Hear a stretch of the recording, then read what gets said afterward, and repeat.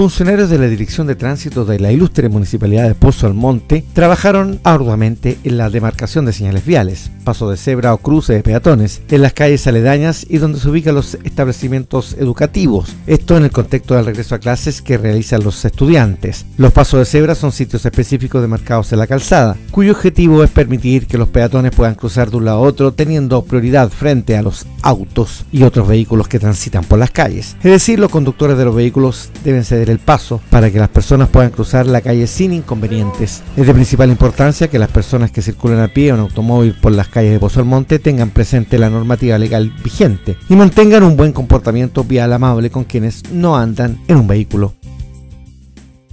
Estamos iniciando el pintado para las, clases de los, de los niños. Esto se hace en todos los establecimientos educacionales, ya sea escuela, liceo, jardines infantiles. Eh, se pinta para que los niños tengan un buen ingreso al, colegio.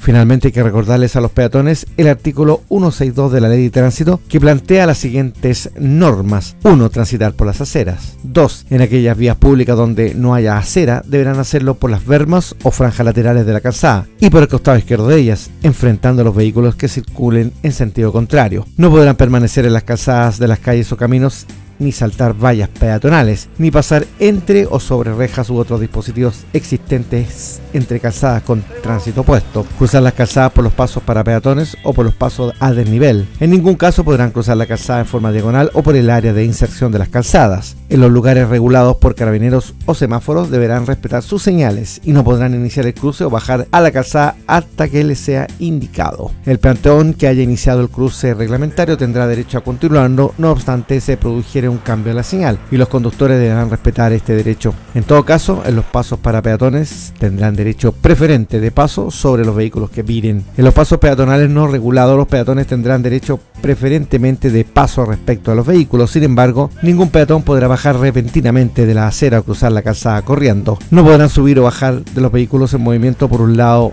hacia la calzada. Deberán respetar el derecho preferente de paso de los vehículos de emergencia que se anuncien con sus elementos sonoros luminosos y no podrán transitar tan cerca de las soleras de modo que se expongan a ser embestidos por los vehículos que se aproximen. La invitación del alcalde Richard Godoy Aguirre y de todos los funcionarios municipales es a cuidarse en el tránsito y a cuidar la vida, obviamente.